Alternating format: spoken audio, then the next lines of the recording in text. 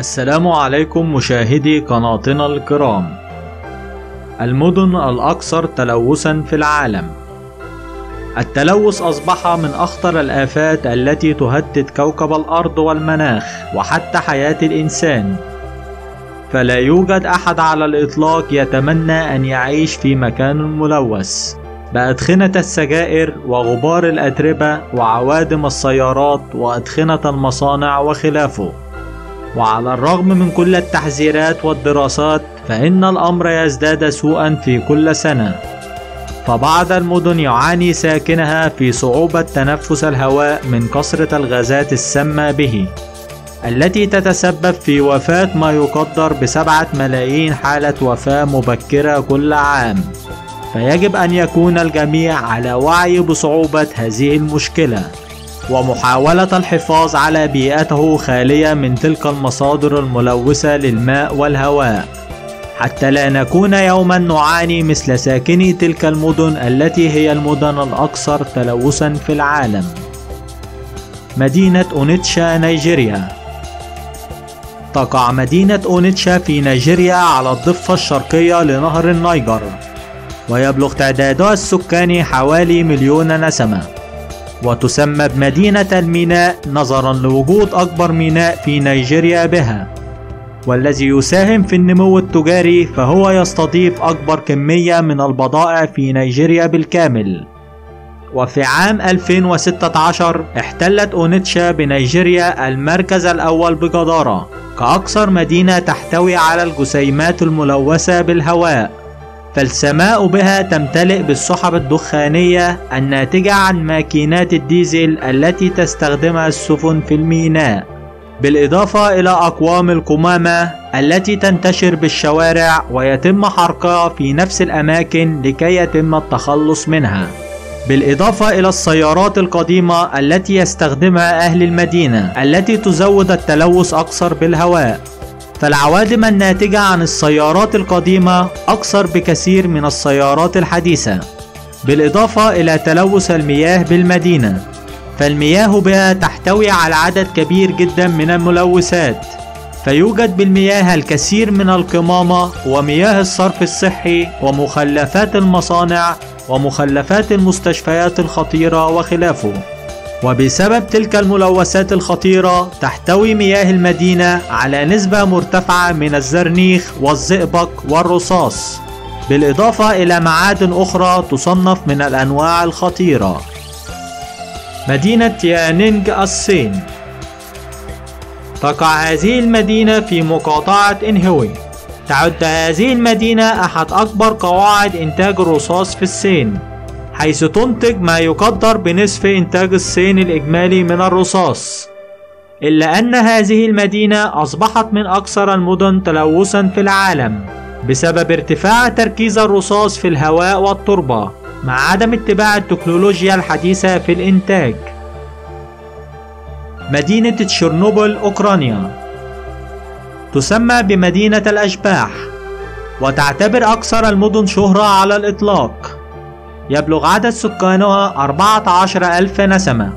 شهدت واحدة من أسوأ الكوارث النووية بالعالم حيث وقع انفجار بمفاعل تشيرنوبل للطاقة يوم السادس والعشرون من إبريل عام 1986 فأطلق كمية من الإشعاع أكبر بمائة مرة من القنابل النووية التي أسقطت على هيروشيما وناغازاكي سابقا. وهو ما تسبب في انتشار الإشعاع النووي عبر مساحة واسعة تقدر ب 2590 كيلومترا مربع. فتم إخلاء المدينة نظرا للخطورة البالغة التي كانت ستصل إلى كل سكان المدينة. وإلى اليوم ما زال يتم فحص الناس التي تقطن أرقاء المدينة ودراسة تأثير الإشعاع النووي عليهم. الذي يتسبب في انتشار السرطان بينهم بمعدل سريع بخلاف التشوه في المواليد. وتحتاج هذه المدينة لتكون آمنة من الإشعاع قرابة العشرون ألف سنة. مدينة غواليور الهند. تقع مدينة غواليور في ولاية شمال ولاية ماديا براديش في وسط الهند. وتبعد حوالي 343 كيلو مترا من العاصمة نيو دلهي. وعدد سكانها يقارب الاثنين مليون نسمة.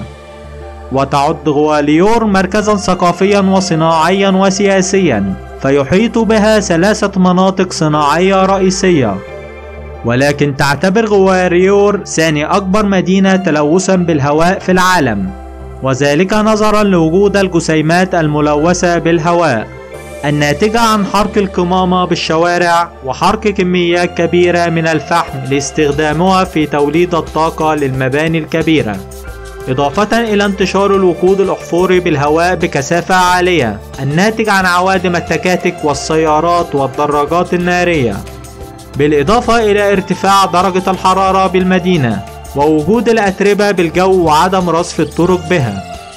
وتعد أيضا هذه المدينة من المدن الفقيرة من النباتات الخضراء وهذا يتسبب في حالات مرضية للسكان كالرب وأمراض الرئة المزمنة. مدينة لا أورويا بيرو. تقع على نهر مونتارو الواقع في وسط دولة بيرو. عدد سكان المدينة 24 ألف نسمة. تعتبر لا أورويا وجهة الحدادين لصهر المعادن وأعادت تشكيلها لاستخدامها في مهنة الحدادة. ونتيجة صهر المعادن المنتشر في المدينة يؤدي إلى انتشار الغازات السامة في الهواء كثاني أكسيد الكبريت. وبالتالي تموت النباتات وتختفي المساحات الخضراء من على أرض المدينة. وحوالي 99% من أطفال المدينة يعانون من ارتفاع نسبة المعادن السامة في الدم وأولها الرصاص بالإضافة إلى ارتفاع نسبة الوفيات المبكرة نتيجة أمراض الرئة الناتجة عن تنفس الهواء المحمل بالغازات السامة الناتج من دخان مصانع صهر الحديد. مدينة دلهي الهند. تعتبر من أكبر المدن المكتظة بالسكان في العالم. يبلغ عدد سكانها ما يقارب 17 مليون نسمة. فقد احتلت المركز الأول في عام 2014 كأكثر مدينة ملوثة في العالم. فحالات الوفاة سنويا في المدينة تقرب ال 11 ألف وفاة بسبب التلوث. بخلاف إصابة الكثير من سكان المدينة بأمراض الربو وسرطان الرئة. ويقول بعض الخبراء أن التلوث الموجود في مدينة دلهي يعادل تدخين 40 سيجارة يوميا. وتحاول الحكومة مكافحة ذلك التلوث عن طريق تعطيل بعض المصانع والمولدات بعض الأيام كل فترة. مدينة زابل إيران. تقع مدينة زابل بداخل مقاطعة سيستان الإيرانية وتقع بالقرب من حدود أفغانستان. عدد سكانها حوالي 244 ألف نسمة. يعد المصدر الأساسي في تلوث المدينة هو استمرار وجود الرياح لمدة 120 يوما سنويا وهي عاصفة ترابية شديدة التدمير تجتاح المدينة خلال فصل الصيف من شهر مايو إلى شهر سبتمبر. تستمر الرياح خلال تلك الفترة في إثارة العواصف الترابية ودوامات الغبار. ويؤدي ذلك إلى اختفاء الأماكن الرطبة التي يتراكم عليها الغبار والأتربة. وكل عام في نفس التوقيت تأتي الرياح المحملة بالغبار والأتربة مع وجود بالفعل أتربة وغبار من العام السابق. فكل ذلك يضع المدينة في ظروف مناخية صعبة للغاية. وفي كل عام يصاب حوالي 500 شخص من سكان المدينة بمرض السل وبعض الأمراض المزمنة الأخرى. مدينة لينفين الصين. تقع هذه المدينة في مقاطعة شانكسي في الصين ويبلغ عدد سكانها حوالي أربعة مليون وثلاثمائة ألف نسمة. تعرضت هذه المدينة للتلوث منذ عشرات السنين. يتمثل السبب الرئيسي في التلوث الهوائي الذي تشهده مدينة لينفن هو عملية استخراج الفحم حيث تنتج ما يقارب من ثلثي حاجات الطاقة في الصين. لتشغيل محطات توليد الطاقة الكهربائية عن طريق حرق الفحم. فتحولت هذه المدينة إلى مركز لإنتاج الفحم ولكن دون وجود الوسائل الكافية لمكافحة آثار التلوث الناجمة عن ذلك. فعندما تدخل إلى هذه المدينة ستجد السماء داكنة اللون نتيجة استخراج الفحم المستمر. ويبلغ متوسط عمر الأشخاص الذين يعيشون في مدينة لينفن أقل بعشر سنوات من المتوسط العام لعمر المواطن الصيني والذي يقدر بستة وسبعون عاما. ولسوء حظ المدينة تحيطها الجبال من كل مكان. فلا يوجد رياح كافية تدفع بها الأدخنة والرماد خارج المدينة. وهذا يؤدي إلى الكثير من حالات الاختناق بين الناس بالمدينة. ومن المفارقات أن المدينة حتى منتصف السبعينيات كانت تشتهر بتميزها في الزراعة ومناطقها الخضراء والمياه النقية. مدينة ميلوسو قيرغستان. يطلق عليها اسم مدينة التعدين. تعد هذه المدينة موطن ما يقارب من 2 مليون متر مكعب من النفايات المشعة الناتجة عن التعدين. وتعتبر أحد مركز صناعة اليورانيوم من سنة 1946 إلى 1968 وكان يتم بها تخصيب كميات كبيرة من اليورانيوم تصل إلى عشرة آلاف طن. ولكن تلك الكميات كان لا يتم تصنيع القنابل كلها منها فكان يتبقى فائض كبير منها.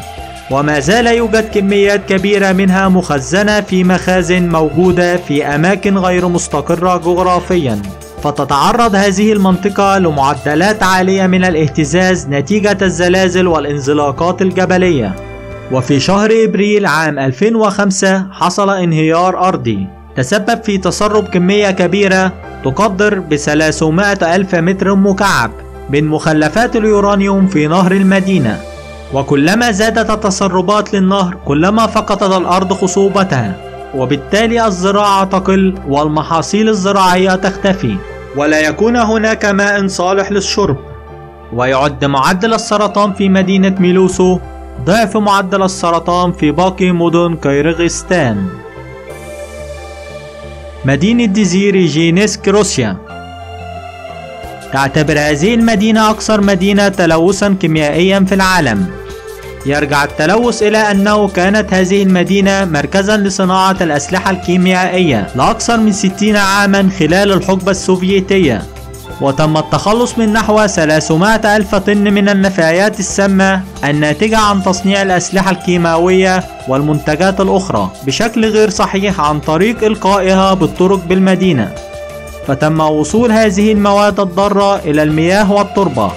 ما أدى لانتشار الكثير من الأمراض السرطانية فزادت معدلات الوفيات في المدينة بنسبة 62% ويبلغ متوسط عمر الرجال ال 42 عاما والسيدات 46 عاما وهذا رقم صغير مقارنة بمتوسط أعمار الأشخاص بباقي المدن الروسية. شكرا لكم مشاهدي قناتنا الكرام وإلى اللقاء.